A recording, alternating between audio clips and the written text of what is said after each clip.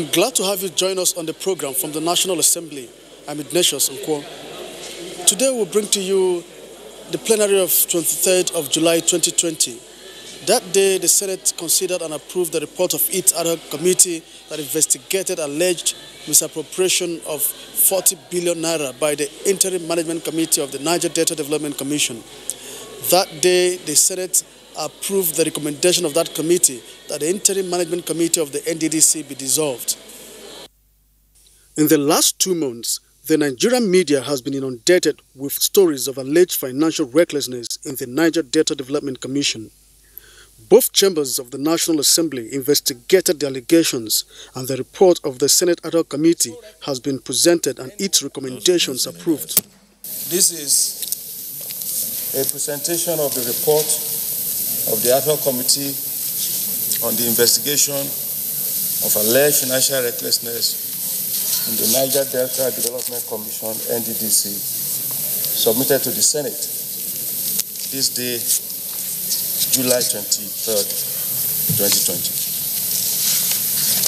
Mr. President, I will speak to this report because it's before every member here. The committee started his work on the 13th of May 2020 and adopted a three uh, methods approach to the fact finding. One was that the committee requested for written memoranda from various stakeholders. We also relied on external sources of information as well as public hearing. The major sources of information available to the committee is the Central Bank of Nigeria that provided us with record of all financial transactions of NDDC between October 2015 and May 2020. We also got similar information from the Office of the Accountant General of the Federation that detailed out financial transactions of the NDDC. And finally, we got similar information from the Niger Delta Development Commission itself. Distinguished colleagues, on page 36 of this report shows us the amount of money that NDDC paid out as transactions between 2015 and 2019, which amounted to 1 trillion and 34 billion naira over a period of 2015 October to 2019 31st of May. Mr. President, on page 37, we have concentrated on the time belt that constitute the terms of reference of this committee, which is to look at the activities of the IMC. And the IMC started work October 29th, 2019 to May 31st. During this period, the NDDC received a total revenue inflow of 74,665,505,840 naira from three different sources oil company contribution, statutory allocation from the Federation account, and internally generated revenue from tender and bidding fees for different assignments, totaling about 74.7 billion in income. As I said to you, the information were obtained from Central Bank, Office of the Accountant General of the Federation, and the Niger Delta Development Commission. Distinguished colleagues, for the period under review on page 40, the breakdown you have there is exactly what the NDC spent during this period. And it is spread over different categories of expenditure, which we have analyzed item by item in order to throw more light into the integrity of those transactions. You will also notice on page 40 that we have presented three columns of figures because those are the sources, three different sources of information on those transactions. And of course, we noticed um, discrepancies in the total amount from different sources of account records for the same transactions, which raises the issue of reconciliation of the accounts of the NDDC so that we can have a uniform uh, figures since they represent the same time and the same organization. Distinguished colleagues, from page 41 up to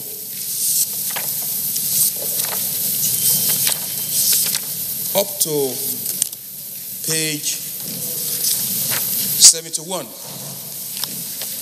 Page 41 to 71 captures the analysis of expenditure categories in the summary table that I refer to in page 40, namely projects, uh, projects and activities that are listed in medical checkup, uh, things like COVID expenditure, things like Lassa fever expenditure, and different activities within the NDDC. The details are there for us to look at. And the analysis of this expenditure shows various kinds of um, process errors and infractions. The details you are able to look at. In chapter 4, on page 72. We also did a detailed analysis because we found out that substantial payments over this period in the NDDC was made to and through staff of the organization.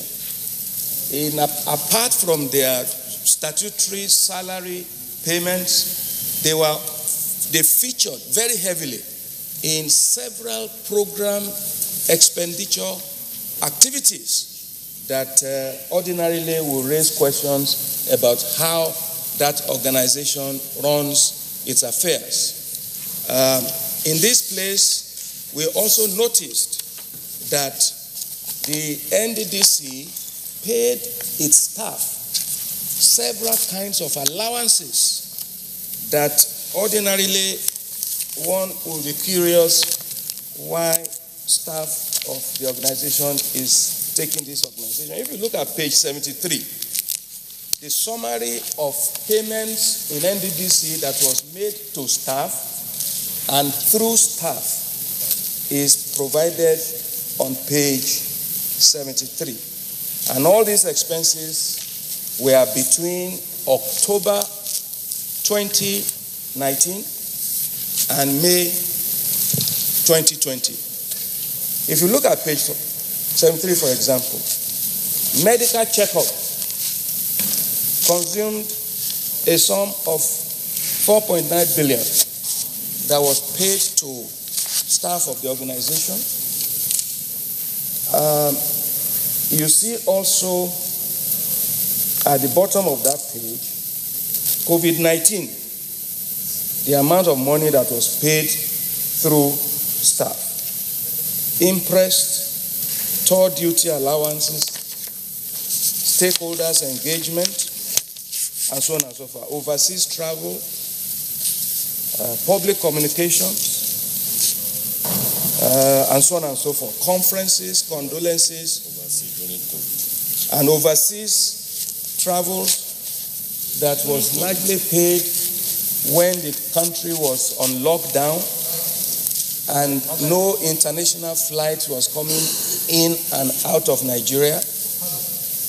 We saw payments on scholarship that were paid to staff of the NDDC.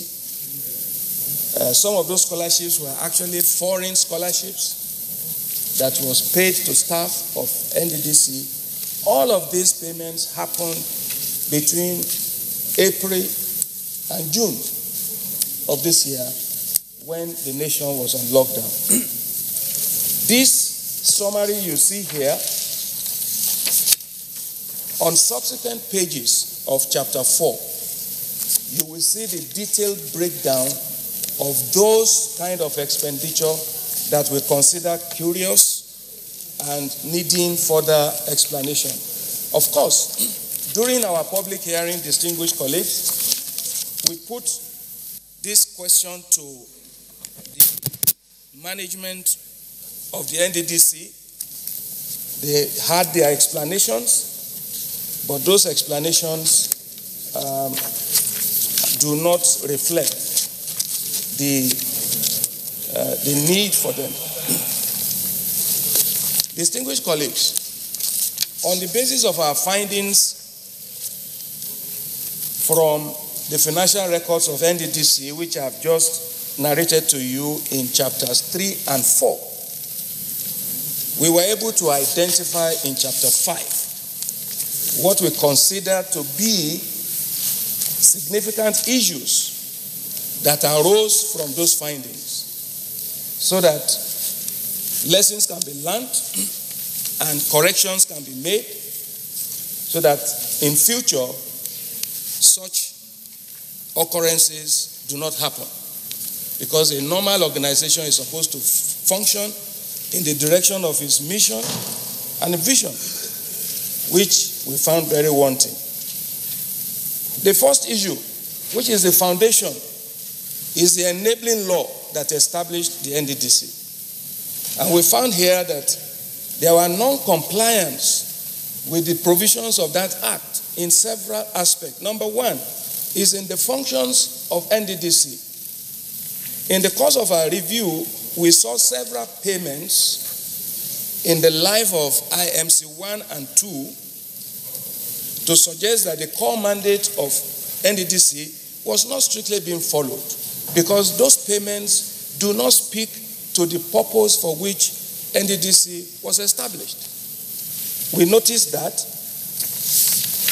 Number two, on page 98, is that we saw an implemented accountability mechanism that was provided in the law the NDDC was supposed to have a monitoring committee to be set up by the president along with the board of directors of the agency.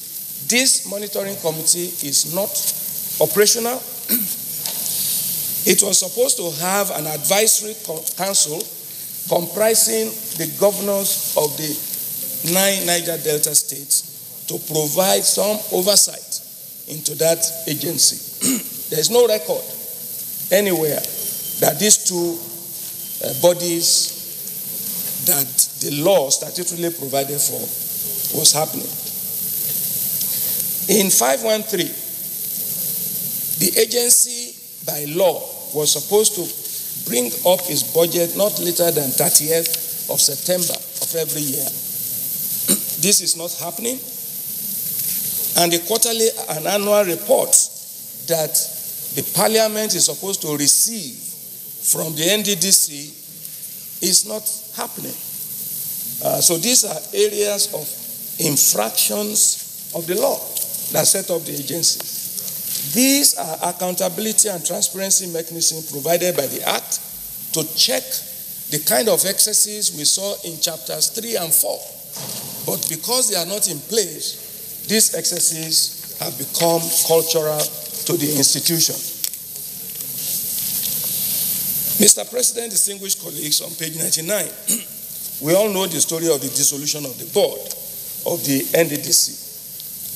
This inquiry by the National Assembly and the ongoing forensic audit uh, provides an opportunity to return to compliance with the Act establishing the NDDC as far as constitution of the board is concerned. There is no point going back into what went wrong. But the exercise that is, we are talking about this, this day is an opportunity for us to go back to the law and you know operate the agency according to the law.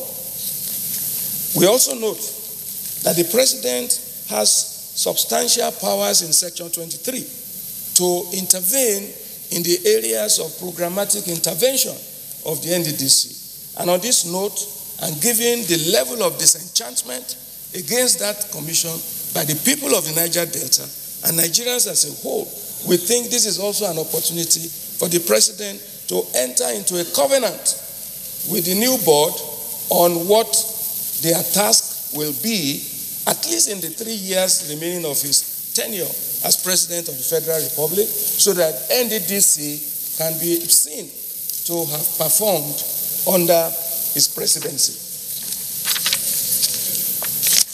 Mr. President, on page 100, we saw the IMC performance as a major issue. And item 521, the top of that page, we found out that the fiduciary record of the tenure of the IMC since October 2019 has not shown any evidence of performance enhancement, efficiency, or prudence in the application of resources committed to the NDDC. The NDDC Interim Management Committee should therefore be dissolved to pave way for the constitution of the Board of Directors in accordance with the Act. The ministerial oversight has been consistently weak and inadequate, therefore making the Ministry of Niger Delta culpable of negligent supervision. Distinguished colleagues, on page 101, we saw that the independent forensic audit that was ordered by the president is a very, very positive action, but it will amaze us that the state of implementation of that forensic audit is at very, very rudimentary stages of recruitment of auditors in the eight months of the existence of the IMC, the purpose of which was to look at the forensic assessment of the agency.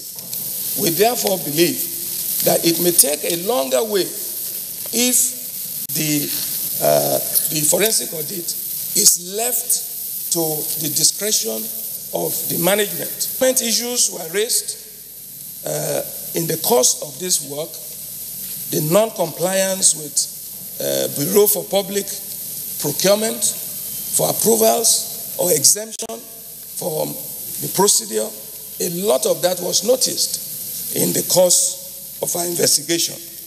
And the quotes you have there are testimonies in the course of our public hearing where the minister himself said a lot of these contracts were, were done in aberration of the Procurement Act. 103, page 103, 525. Budget discipline and culture the NDDC does not operate on the basis of budgets. They operate on the basis of cash accounting. Once the cash is available, they spend according to the discretion of management, not according to the provisions of the budget. Because we have asked the management of our NDDC to provide for our committee a budget performance report we asked for a budget performance report that details out how much was budgeted for and how much the agency has spent so far. As at the time of writing this report, that information was not provided because um, either it's not available or it is not readily given. But the details are also provided in the course uh, of this report. Um, we noticed in their procurement, Mr. President, colleagues, um, a lot of contract splitting. A huge project will be broken down into small bits and allocated to similar contractors in some cases, several contractors in several cases. And ostensibly, For anybody who has been in a, in a huge organization, this is definitely in order to make sure that those expenditures fall within approval limits of management without necessary recourse to higher approval authorities. The tables following that section details out a sample, a sample of the evidence of such contract splitting. And all of these things happen in the IMC, page 107. And I would like to highlight the situation of internal controls and audit system within the NDDC because you wonder how could this type of financial operations be happening in an organization with internal controls and internal audit process. We found out that um, the audit system within the NDC is very weak and complicit, and even the external audit report that we received is contains virtually no information for such an organization. One trillion in five years, one trillion and 34 billion in five years, 2015 to 2020. Uh, Mr. President, the payment of staff for program activities is a major practice, and this does not lead to transparency and audit trail. Uh, that is contained in page 108.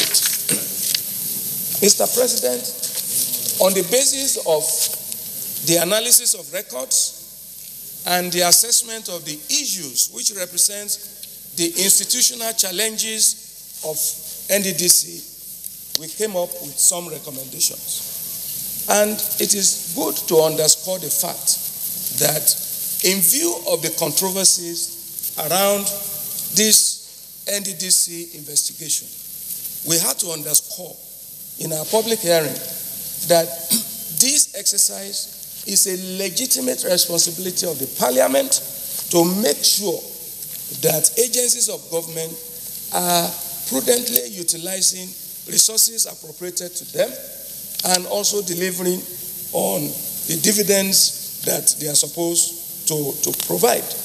And we made it very clear that this exercise is not an exercise at witch hunting or to uh, blame gaming but to make sure that the NDC, NDDC money work for the people of the Niger Delta.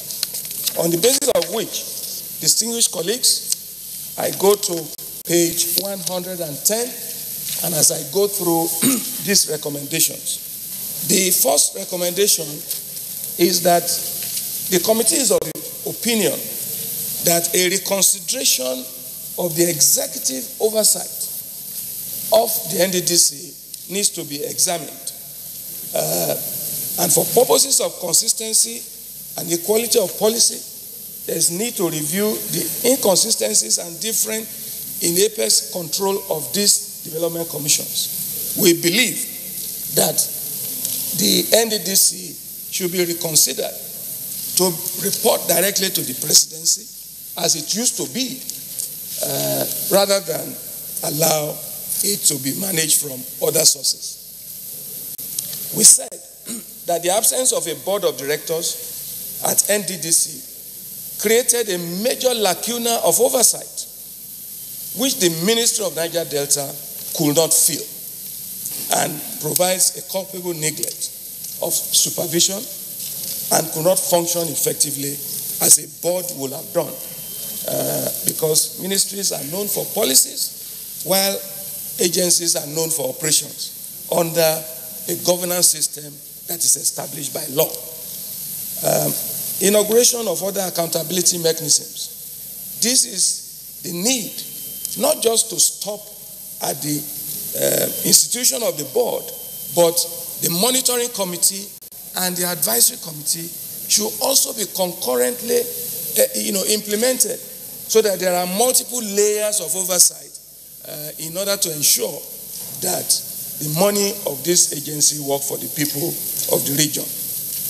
Uh, Mr. President, improvement of governance process is there. These are recommendations basically for institution uh, upgrading of the institution. On the financial accountability and framework review, we found out that restoration of a budget-less system will help the Niger Delta Commission to do a better job of service delivery. The practice of spending without a framework of a budget and a plan against which expenditure is being made is not helpful to the NDDC.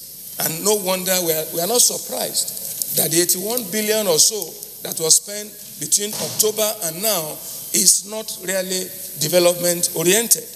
And that is why we think that the performance of budget procedure reform is a necessity. Mr. President, the initiation and supervision of the forensic audit. We believe, as a committee, that in order to ensure that the forensic audit achieves the purpose for which it is set up and inspire confidence in the operational and financial processes of the NDDC, oversight of the audit should be transferred to the Office of the Auditor General of the Federation. This will guarantee independence, it will guarantee credibility, transparency, and professionalism in the output of the exercise. Furthermore, the committee recommends that Mr. President, with advice from the Auditor General of the Federation, should appoint a renowned, internationally recognized forensic auditor to carry out this exercise so that the outcome will be unanimous and it will not be subject to controversy or compromise. Uh, Mr. President, we believe that the strengthening of the procurement process is, is very, very crucial because you can have a lot of money coming into an organization if the exit gate in terms of projects and procurement is not well managed by procedures and processes and uh, oversight to ensure effectiveness, we are going to li- likely suffer the kind of hemorrhage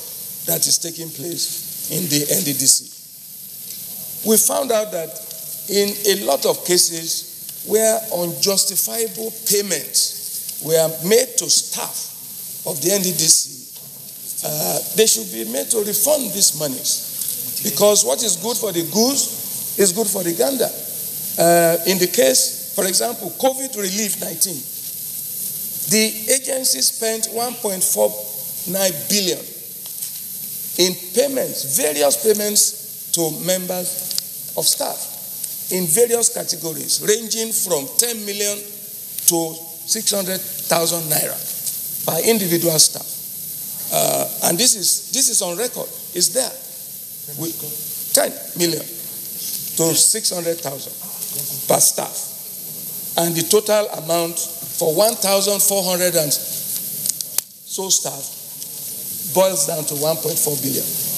These kind of payments, we believe, should be refunded by the management of the uh, IMC, and such refund should go into the NDDC account, not the Federation account. That was an error on the part of the committee. It is the money should go back into the account of the NDDC and not into the Federation account. Please correct that on your paper. Mr. President, there are serious process challenges in the NDDC, institutional challenges in the NDDC. And chapter 6.4 of this recommendation has recommended a review of operation processes, a review of financial and accounting processes, review of human policy, instituting a performance based organization, and the enhancement of internal and external audit capacities. But all these internal review uh, processes is best done under a formally constituted board and management with the operationalization of the accountability mechanisms in, in, in terms of the uh, monitoring committee and the advisory council. Mr. President, distinguished colleagues, last but not the least is the need to review the corporate social responsibility policy of the NDDC. A lot of money has been spent on condolences, stakeholders' engagement, community interventions. A good example is two or three staff take some huge sum of money and they call it to give petrol to community. And it's all there. It is good for an organization to, to do corporate social responsibility, to want to make his impact felt within his operational communities. But there is need for a policy framework that does not leave this in the realm of discretionary uh, abuse of those that are operating the system. Mr. President, in conclusion, the committee noted that it is difficult to find a correlation between Niger Delta community development and the cash invested in the zone. Uh, it, there's a far gap of value for money. And therefore, the question was raised at the public hearing by a number of activists, NGOs, civil society people, and other members of the public present. Indeed, with the recurring theme, it could be taken as a common source of agitation among the people at present. Continued cash injection into the Niger Delta challenge issue has not worked under various IMCs, two of them so far. It may be useful at this juncture for government to intervene by stepping down the IMC uh, arrangement, thereby helping them to leave the stage for a properly constituted board and with specific mandate to address the pains of the people of the Niger Delta. The time has come when the money of the Niger Delta must work for the people of the Niger Delta. Distinguished colleagues, I so submit. Let me um, commend you for a very thorough, very professional uh, job. We didn't expect anything less. And I congratulate uh, all the members of the ad hoc committee also. Uh, distinguished colleagues, we have listened to the presentation by the chairman of the ad hoc committee on the alleged recklessness uh, in the Niger Delta financial system. Now we have uh, the opportunity to make our comments before we eventually uh, look into the recommendations of the, of the committee. There's no doubt, Mr. President, from this report. We have seen financial recklessness, misappropriation of public funds, deliberate attempts to undermine the purpose of establishing the NDC. Niger Delta is a very important zone to this country. That is the bedrock of our wealth as a nation. You recall in the, last, in the seventh Senate when we went on tour of Niger Delta, we saw people living in abject poverty. I can compare their situation with what I saw in Soweto in South Africa. Therefore, I hold I held the view that having a commission like this will improve the well-being of the people. More importantly, when you have people of that zone who are managing the affairs of the commission, which was entrusted to them to improve the well-being of their people. Mr. President, there's no need to pretend about this. This is a deliberate attempt to put the people of Niger Delta in perpetual slavery and, and, and penury. Mr. President, from what we have seen of this report, you don't need to be an accountant to know when people have managed public funds. Mr. President, this is one report that must not die. And I take a look at our nation. We all claim to be Christians and Muslims. We believe in the Bible, we believe in the Quran. But when you look at this kind of a report, you feel very bad. Why are we here? We are here to add value to our nation. This report is painful because for those of us, Mr. President, who have been in the struggle for the emancipation of the people, under your leadership, under President Muhammadu Buhari, if we cannot stop, minimize corruption, then this country has no future. We have watched on live TVs what has been going on as far as NDDC is concerned. We have seen corruption being displayed at the highest level. Integrities of individuals have been put to test. As my brother Senator Smart Adeyemi has said, the mantra of this administration is to fight corruption. But what do we have? We have corruption fighting back. 4.5 billion was spent in a day in NDDC. 4.5 billion. And the most astonishing part of this is that the expenditure upon which this fund is predicated are frivolous in nature. And that goes to show that such huge amount of money coming from the oil companies to NDDC, coming from the federal government from NDDC, coming from the derivation account to NDDC, rolling to several billions of naira. And I'm made to understand that what comes from the petroleum companies are in dollars. At a point in time, there was a reconciliation that was done that has to do with amount that was paid by the oil companies, amount that was received by NDDC, and amount due that must be remitted by these oil companies. And after the whole reconciliation, the petroleum company decided to pay the difference, which is in millions of dollars. I don't know if this is contained in this report. Mr. President, there is no game saying about it. There is need for us to reposition the board. When I watched um, the special advisor to President Niger Delta Ita Enang on TV a few minutes, a few a few days ago, he said that the law establishing NDDC was the first law in the history of our National Assembly where the president vetoed, where where the president was vetoed by the National uh, Assembly.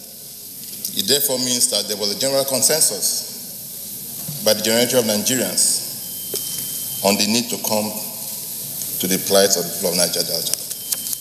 And it was based on, on the basis of that consensus that that law was passed by this uh, National uh, Assembly. Mr. President, I believe that Nigeria has been good to the people of Niger Delta. What we are seeing here today is quite, is quite sad, and it is a clear reflection of what we call a theater of solitude. This is the inhumanity of Niger Delta to the people of Niger. And I believe very strongly, Mr. President, that whether we like it or not, what is happening in NDDC today is a clear reflection of the hatred of man to man. Mr. President, when we were doing the PIB in the last Senate, we divided ourselves into different uh, committees, Mr. President. And we went on a tour, and on the spot assessment of the state of affairs in, of the people of these oil producing communities. Mr. President, some of us were in the water for close to three hours.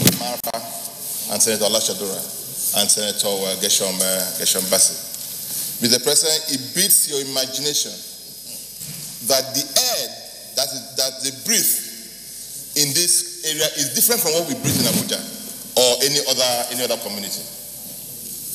They live in they live in squalors, no access to electricity, nothing.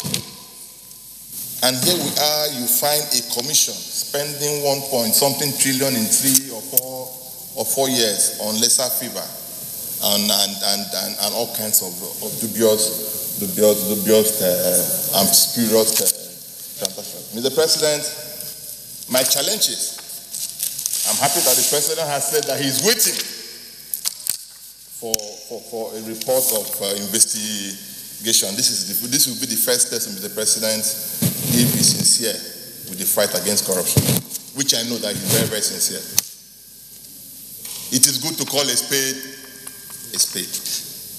Mr. President, if you had watched the public hearing a few days ago, with the kind of contents in this report, why won't the man faint? Why won't the man faint? With the kind of content in this report, the man was just asked, why did you pay 1.5 billion on palliative to staff? Staff that were at home doing nothing. Nothing.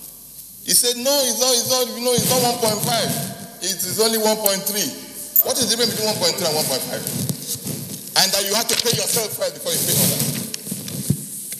And I will sit down and oversight NDDC and this is happening. It is not possible, Mr. President. Mr. President, I believe that as a Niger Delta, I don't believe that all hope is lost. It is good to do the right thing, no matter how late it is, than not to do anything at all. Posterity, I believe, will be fair to you if the right thing gets done now. Mr. President, if you look at the content of this report, nobody can fault its content. Nobody can fault its content. The only issue I have with this recommendation is that it is not as strong as it should be. If you are saying somebody should reform money, it should be so clearly stated. And Senator, uh, Senator Solomon has said something here. Mr. President, if we had if we had allowed people to use their discretion in running NDDC the way they have run it, run it down and out of purpose, then a time has come where we can also use the strength of the law to streamline the workings of NDDC. Nobody has talked about the master plan of Niger Delta. Nobody talks about it. I know when the last uh, MD of uh, the last MD of uh, uh, came for came on screening, he was blabbing about master master plan.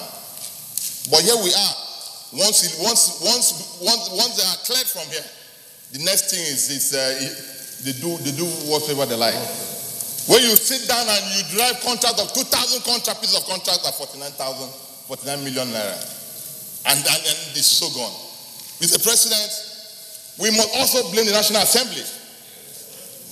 We must also blame ourselves because this is a clear case of lack of oversight. This is a clear case of lack of oversight, Mr. President. So we must also place some level of responsibility on the National uh, Assembly. We have not done well as regards uh, as regards uh, oversighting this uh, this agency. It is good to call a spade a spade. I'm very sad today to be a member of this parliament because and to be a Nigerian because Mr. President we are leaders of a country. and we see this, we see this kind of report, these things happening. Mr. President, I'm sad because this should not be happening in this country. Particularly, this should not be happening to the region where agency is charged to, under, uh, to oversee. It's a region, just like the first speaker has said, that is the bedrock of our economy. It's a region where we have agitation. It's a region where we have insecurity. And despite that, we have a law, we have resources from several sources, and we can see how it is being used. It is it saddens one to see this is happening and that nothing urgently is being done. In Asia countries, just like the first speaker said, people should be killed for doing this kind of thing, Mr. Speaker. And Mr. President, they should be killed because people are dying by as a result of the consequence of their action, Mr. President. Mr. President, this is obvious corruption that Kawa cannot see. Because, like it's like, like what is here as a medical doctor, I cannot accept it. They talk about spending billions on Lassa fever. The Niger Delta region in Nigeria is not the region where we have the of uh, Lassa fever. They talk about spending 3 something billion COVID. COVID-19 epicenter in Nigeria is Lagos. COVID epicenter is in and Abuja. And this kind of money is not spent. What is the money being spent on, Mr. President? And when we look at it, obviously, obvious corruption. Breaking that, you want to buy kits the procurement law is that that skill should be bought, should be procured once because it's the same kind of it. But you broke it down into 47, 47 million to enable contract to be awarded. So, Mr. President, just like the last speaker, several speakers have said, I want to urge that this report to be implemented by the President of Nigeria with immediate effect. The report has said the President needs to, to disband the IMC and constitute a board. And we should insist on this. Nigerians should insist on that. Mr. President, the report has said that the agencies does not have standard operating procedure for finance, for operations. This, this should be instituted by the board. And more importantly, the IMC, the minister claim on, on in the, uh, which we saw publicly, that there is forensic auditing going on. This report says nothing is going on. We have seen very serious mismanagement on NDDC. And um, it is time for us to take serious action. It is not just enough for us to sit down here, debate the content of this report, and then we send it to the executive. We have to follow up and ensure that uh, our recommendations are implemented to the letter. We have a committee charged with the responsibility of monitoring, you know, the Niger Delta. And to me, something must have gone wrong. If all infractions are happening and nothing has been reported to the Senate, till we get this ad hoc committee report in its oversight. Mr. President, we have seen a lot of money being spent on things that are intangible. We expect Niger Delta to be almost the same development we do well today, going by the amount of money that is being pumped into the Niger Delta. The 13% derivation is going into Niger Delta. Mr. President, the whole purpose of set, setting up the NDDC is to ameliorate the hardship being encountered by the people in the Niger Delta as a result of exploitation of oil. A ministry for Niger Delta was created by President Musa Yar'Adua to also assist in the development of the Niger Delta. Oil companies are spending so much money, but yet, Mr. President, when you put Niger Delta, you don't see anything but poverty and misery, as Senator Adeyemi has said. So time has come when we should take drastic action to ensure that the resources of the Niger Delta is being used to develop the region. If you look at section 88 of the Constitution, subsection 2b, which says expose corruption, inefficiency, or waste in the execution or administration of laws within its legislative competence and in the disbursement or administration of funds appropriated by it. I don't think there is anything as classical as what has been done by this committee. To me, the spirit and letter of that provision of the Constitution has been brought to life by what the committee has done with this report. And I think going forward, it will be very, very fundamental that the Senate looks at this as a template, as a model, so that there are so many other segments of our laws or sectors of our economy that require this kind of thorough job to be done. And I think this is a wake up call for all the various committees that are handling various sectors of our economy. Mr. President, distinguished colleagues, what is important for us to take note of is the fact that the laws have been put in place to guide our intervention, especially in this very, very important you know, region of our country. And as it is being said, we have to ask ourselves is the law definitely meeting the objective for which it was set up? I think the comments from most of the speakers show clearly that the people of the Niger Delta, the common ones, the poor people, the Mekunus, they are being shortchanged. And like distinguished Senator Albert said, this is man's inhumanity to man. Where people are finding it very difficult to live the most basic of life. And then some people are coming to give contract on a disease that is not the major problem. I think it's really very sad. And definitely we must do something about this. The saddest part of what we are discussing is that there is no any demonstration of concern from the people of Niger Delta. Remember, this evil has been going on for long. It's not just from 2015 to now, no. The period preceding 2015 may have maybe more deadlier report. It is truly sad because this issue is a typical Nigerian problem. A typical Nigerian problem in the sense that the Niger Delta Development Commission is seen as a honeypot by most Nigerians, not only Niger Delta, by most Nigerians. And Mr. President, I want to put it more succinctly that every member of the management committee of Niger Delta has a godfather. And this godfather sit at the highest level of policy making circumference in Abuja. They receive returns because when you want to treat an ailment, you must trace the root of that ailment. Are we thinking that what we are saying after today may not be just a mere television show? Because at the end of the day, every godfather will want to protect his own. And that is how, if we are not careful, this report may be swept under the carpet. I want to say with a lot of regrets that those of us who are from the Niger Delta, particularly those of us who have been here for some time, it's unfortunate that we do not have anything you know, to say good about the NDDC as far as the development of our states or the Niger Delta region is concerned. I represent my state and my constituency in the Senate. Edo South Central District is the reason why Edo State is classified as Niger Delta State.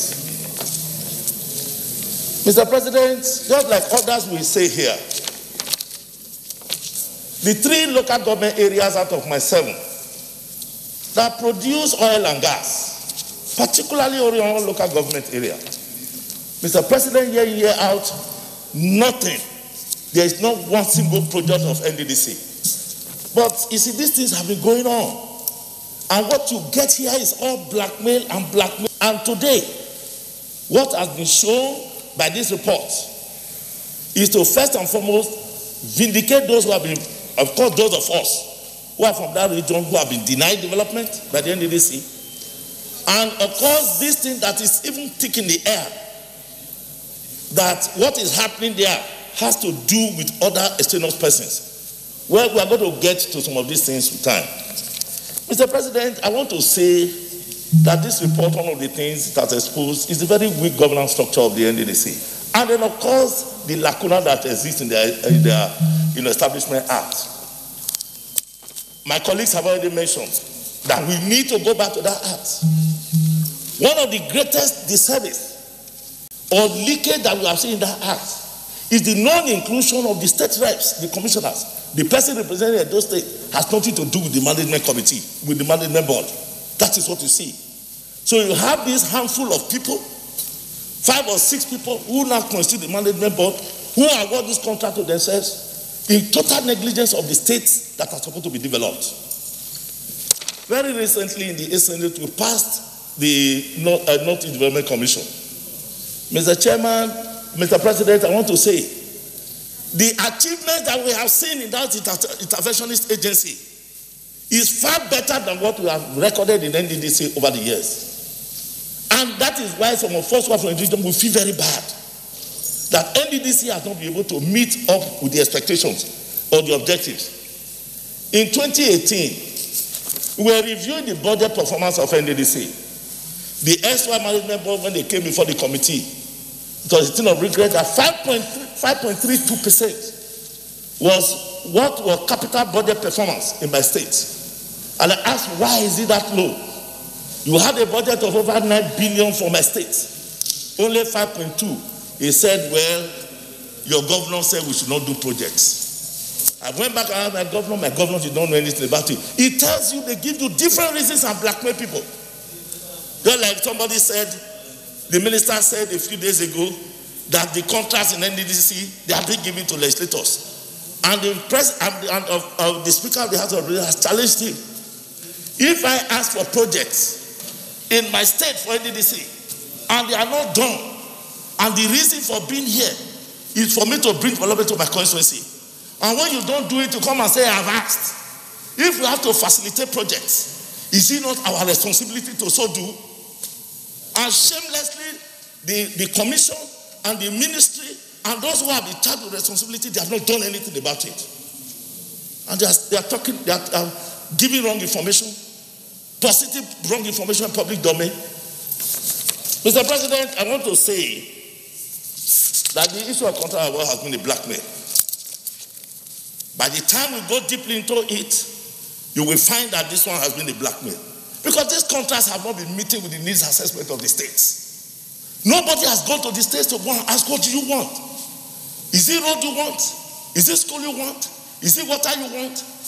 Eh, nobody. The commission from from from uh, from establishment go and check.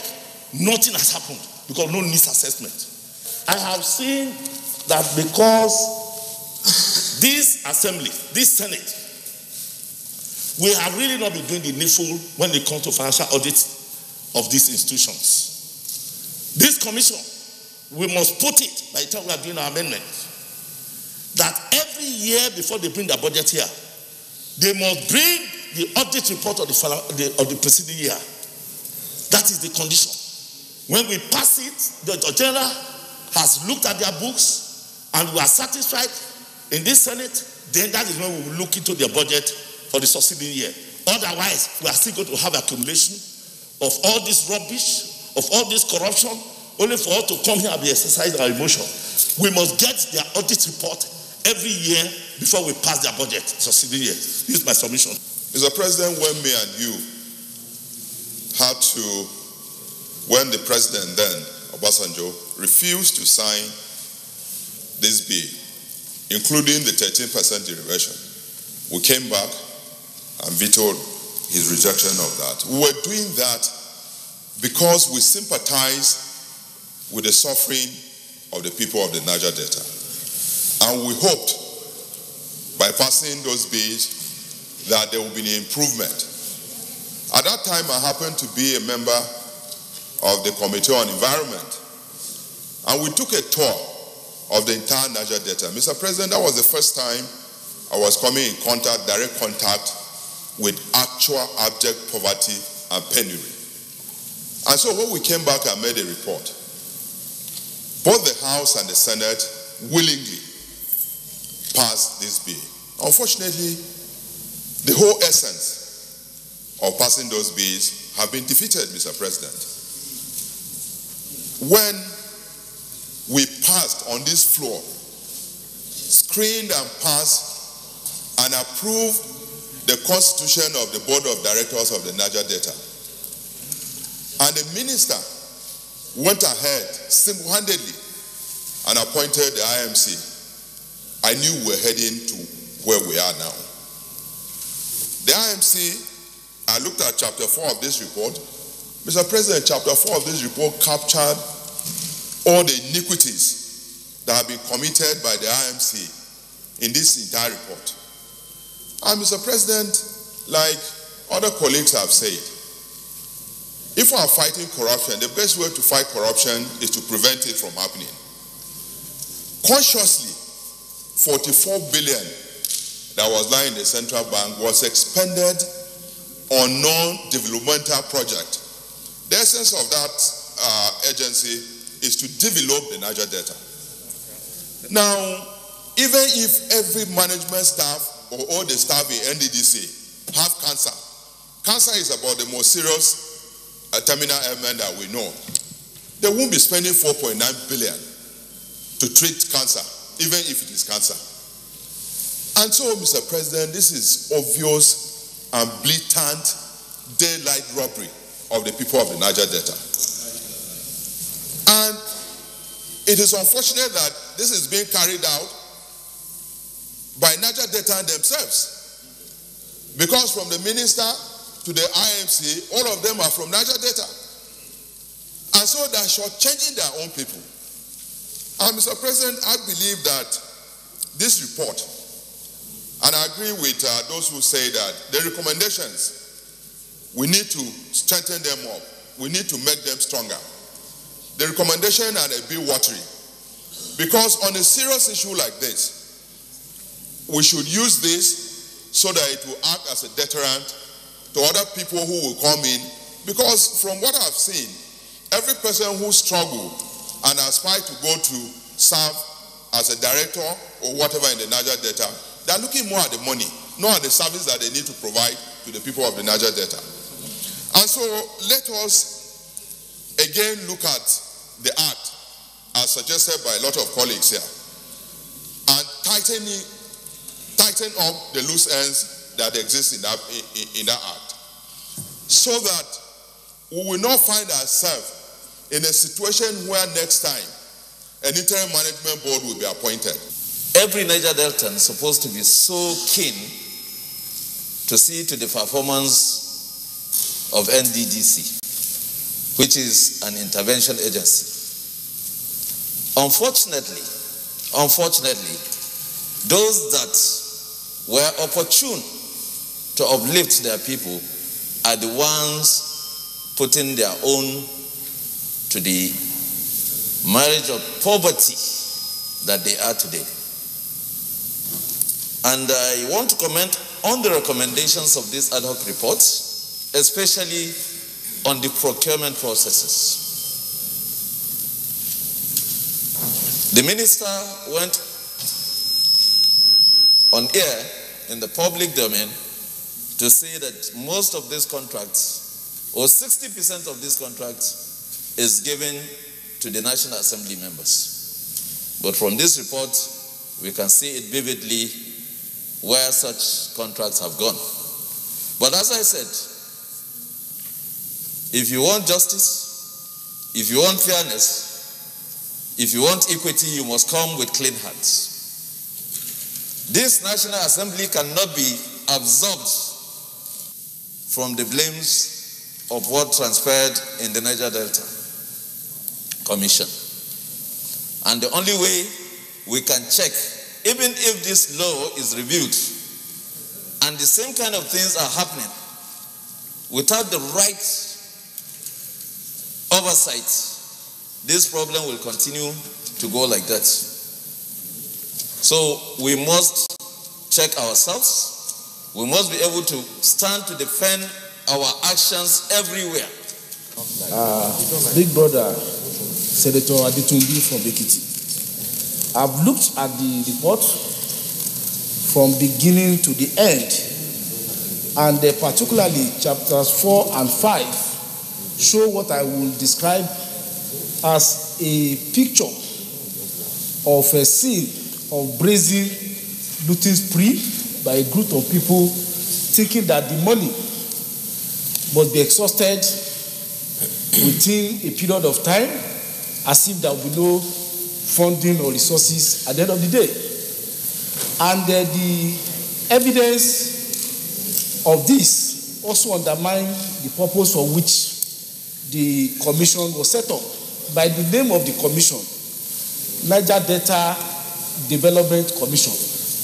From the billions of naira taken away by way of uh, contract splitting, by way of spurious spending, by way of breach of uh, procedure in terms of procurement, and for very dubious exercises, particularly in terms of uh, communications, show clearly that there appear to be a failure of even the commission as to the name given to it to be a developmental uh, agency. But then, it calls to question the problem of governance that we have in Nigeria. Why do we have a commission set up by law having its own governance structure? And for the same purpose too, you also have a ministry as a branch of the executive for the same purposes. Aside the question of duplicity in terms of purpose, in terms of even the bureaucracy itself, does it really serve the purpose? And this permeates particularly almost all parts of our governance structure. As a National Assembly, we need to look at commissions created by law and see that they are really autonomous in their function and be responsible to the president through its own organ rather than subject it to another layer of supervision that allow it. This report is an indictment on all of us. This report is an indictment on the leadership, on the governor, government, on all of us, because we are the trustees of the people. And it is under our watch that all these malfeasance occurred. Mr. President, distinguished colleagues, we're at a defining moment in the history of this country at this moment. Either we want to raise the bar of this country or we want to continue to sink it into the cesspool of maggots. I'm really, really upset. To me, this is just an, a tip of the iceberg. NDDC is just one of many. The whole, the whole thing stinks of corruption. The system stinks of corruption. NDDC is just one of many. There are so many other agencies similar to NDDC. And Mr. President, I must applaud the chairman of this committee that did a very thorough job and all the members of this committee. And I must also applaud that you allowed my distinguished colleagues Smart Adeyemi and Albert Bassey to express passionately, because it's long overdue in this chamber, how they felt. That's the way we should be feeling right now. I got so emotional thinking about my people, the sufferings of people out there. People are suffering. Mr. President, this is what happens when there's absolutely impunity in any country.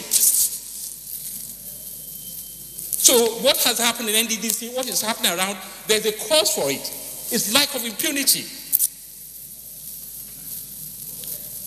When we don't take people accountable for what they are given, when we don't jail them, when we don't take action on them.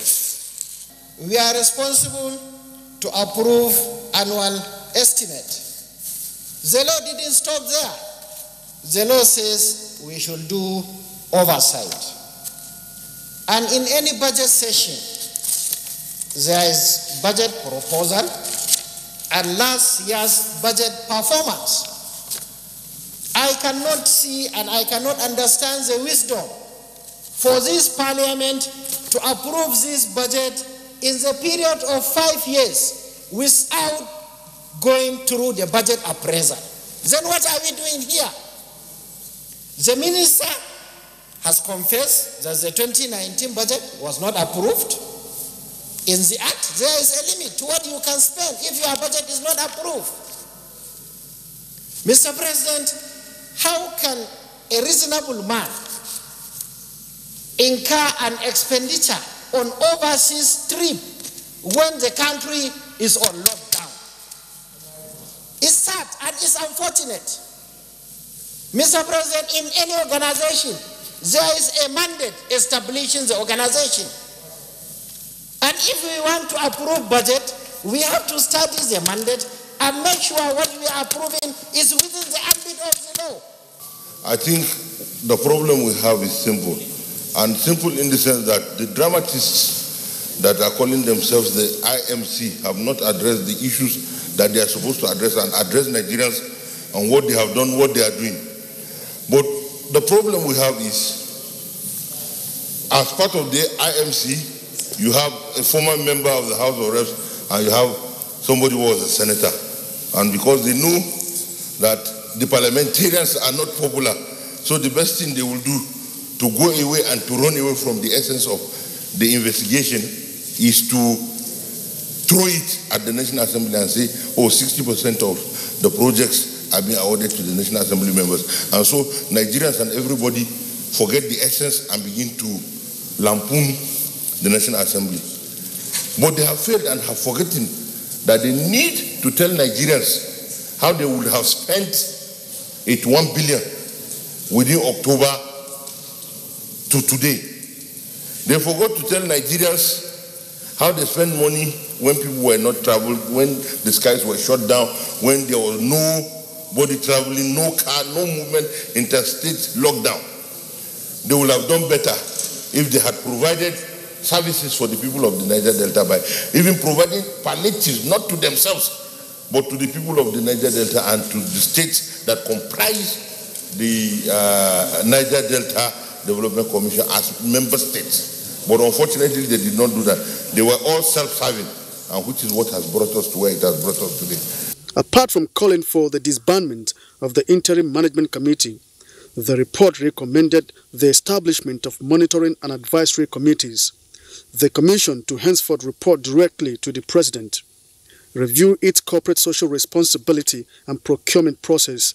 Senate resolved that the Interim Management Committee should refund a total of 4.9 billion naira paid to staff and contractors in breach of procurement process. This includes the 1.4 billion naira it paid to its staff as palliative for COVID-19. The funds are to be returned to the coffers of the Commission.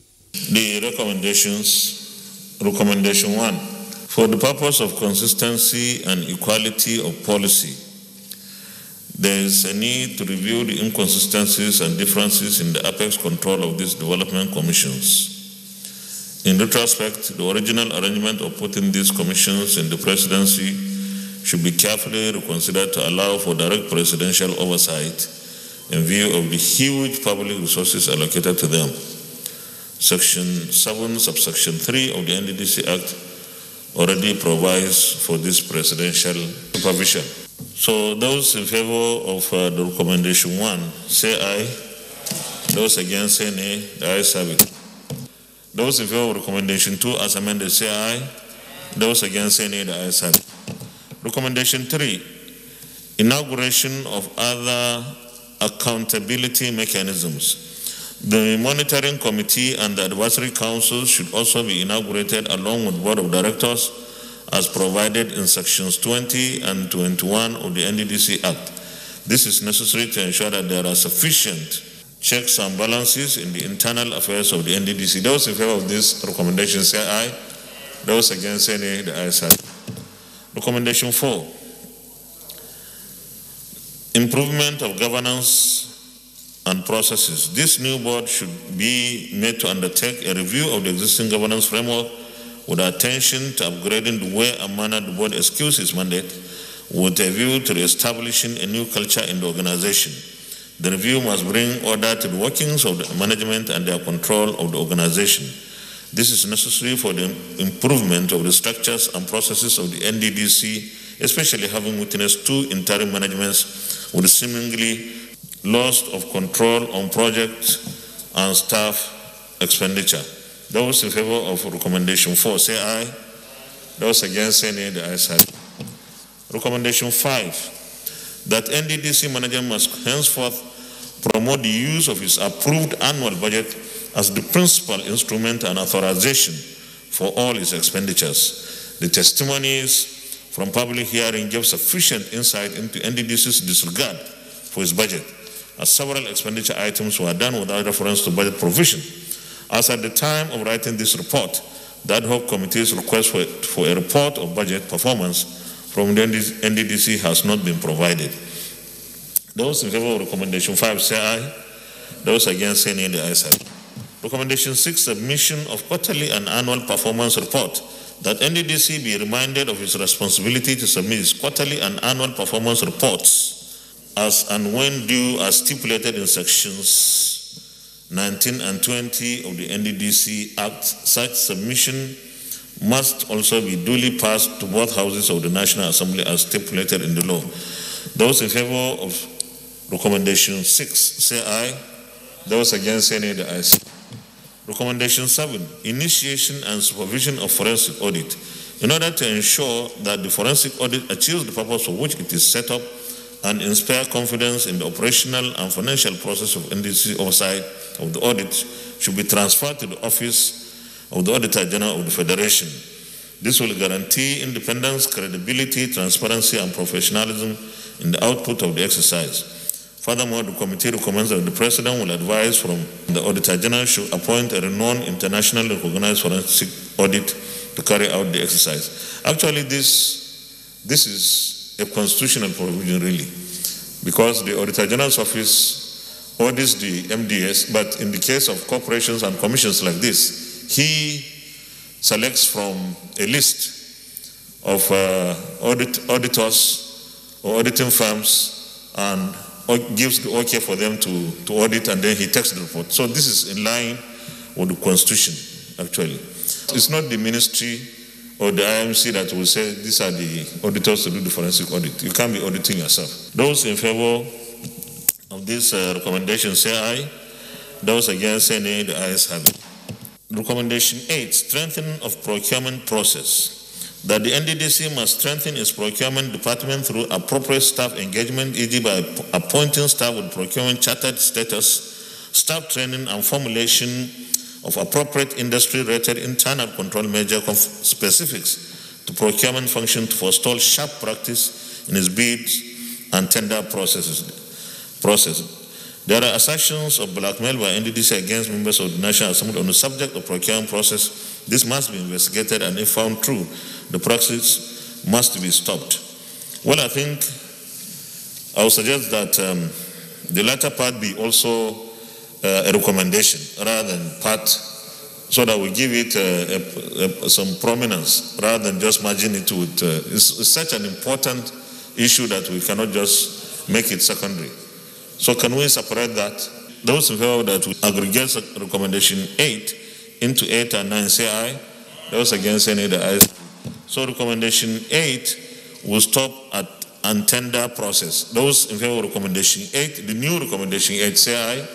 Those against any the ayes. And recommendation 9 will be there are assertions of blackmail by NDDC against members of the National Assembly on the subject of procurement process that this must be investigated and if found true, the practice must be stopped. Those in favor of our new recommendation 9 say aye. Those against say nay, the ayes have it. Those in favor of recommendation 10 as amended, say aye. Those against say nay, the ayes have it. Those in favor of recommendation 11 as amended, say aye. Those against say nay, the ayes have it.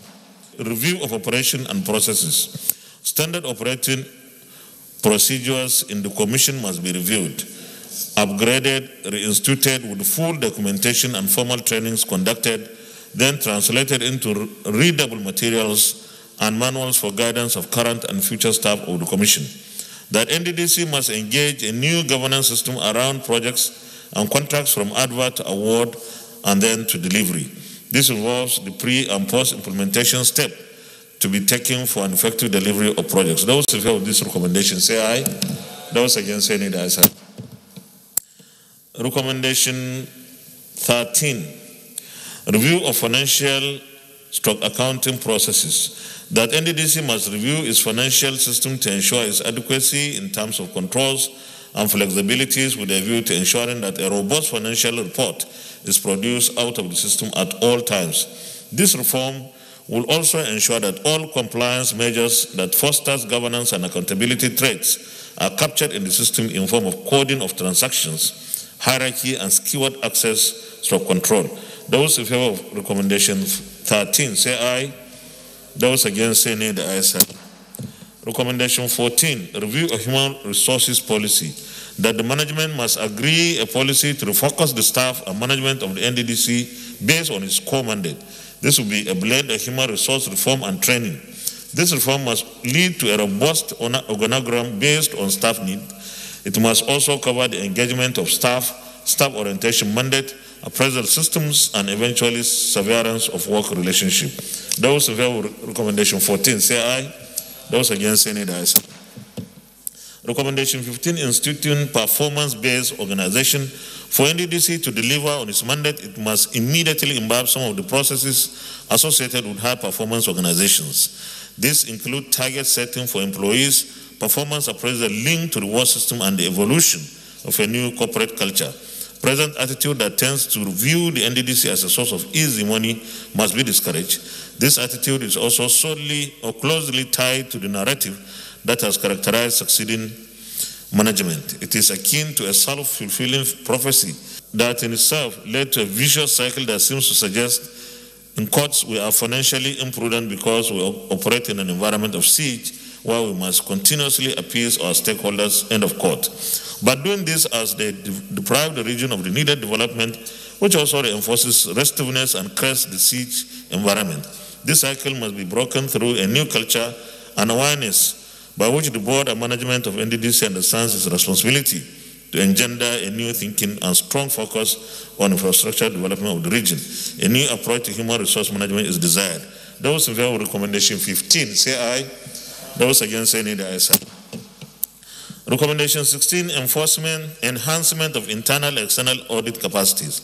That management must review the service level agreement they currently hold with their external auditor with a view to making a change of auditor.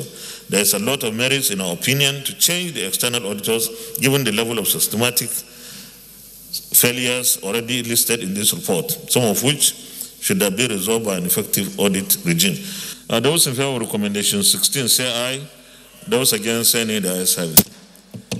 Recommendation 17, review of corporate social responsibility policy CSR. That the management embark on a CSR review to restructure and reshape NDDC's social responsibility to its staff, community, and the public at large in order to properly ensure an equitable and responsible delivery of these responsibilities without losing focus of its corporate mandate. The scope of this review should include condolences, community relations, and stakeholders' engagement. Those in favor of this recommendation say aye. Those against say nay. The ayes have it. It also mandated its committees on ethics, privileges, and public petitions to investigate alleged involvement of some members of the National Assembly in the Commission's contract awards. So we are giving them uh, four weeks, the Committee on Ethics and Privileges, within which to report their findings. Thank you very much, uh, distinguished colleagues, and let me join uh, colleagues who contributed by also commending the chairman and uh, members of the ad hoc committee uh, that did this investigation. And I want to say that this Senate, and indeed this National Assembly, has always been sensitive and responsive to the earnings of the people of this country from any section. I recall that in 2000, the NDDC um, Act or bill then had to be passed by the National Assembly through override of a presidential veto. In the same, in 2002, the National Assembly passed the bill to abolish the offshore and onshore dichotomy, just to give more resources to the states of the Niger Delta. In fact, those of us from the other parts of the country made a huge sacrifice because the offshore funds realizable from the sale of oil and gas would also go to our states ordinarily. But we still voted for the bill to abolish that so that more resources will go to the Niger Delta states for development. Most of our colleagues who contributed talked about the 13% reservation in the Constitution, the NDDC uh, itself, the Commission, the Ministry of uh, Niger Delta Affairs, the Amnesty Program, the Special Presidential Intervention. These are all efforts by governments, and not only this administration, right from 1999, to ensure that special developmental attention is given to the Niger Delta area because that is the goose that lays the golden egg. But alas, almost all through this period, those that have been given the responsibility to manage the resources of the NDDC and for the people of the Niger Delta have squandered most of the resources, leaving the region poor and in a very difficult situation. It is our opinion in the National Assembly, particularly in the Senate, that this report has exposed the inefficiencies, the, the, the, the, kind of corruption in the, in, the, in the NDDC, and in fact, the need to strengthen that organization. I want, to, I want to agree completely that we should look at the act itself, establishing the NDDC. Where are the lacunas or the inadequacies? And then we are on the same page with the executive arm of government on this that the outcome of the investigations by the National Assembly from both chambers will be considered by the executive arm of government in order to bring sanity and relief, sanity in the NDDC and relief to the people of the Niger Delta. I am sure that our report will receive the kind of attention that we all desire and expect. With this, once again, let me thank uh, our committee, particularly the ad hoc committee, and of course the uh, our distinguished colleagues for the various uh, interventions. Well, this is where we end today's uh, program from the National Assembly. I'm Ignatius Nkwo. Enjoy the rest of our programs.